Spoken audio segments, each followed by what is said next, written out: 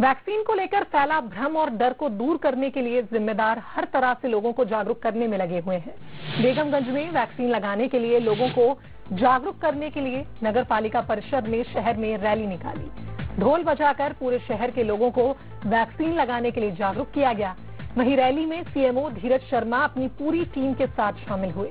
नए bus stand से शुरू हुई रैली कई जगह से होकर गुजरी। जगह जगह रैली का लोगों ने स्वागत भी किया।